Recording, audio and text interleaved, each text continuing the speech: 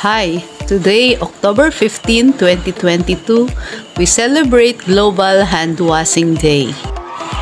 So, in this video, I want to em emphasize again the importance of hand washing with soap and water as an effective and affordable way to prevent diseases and save lives.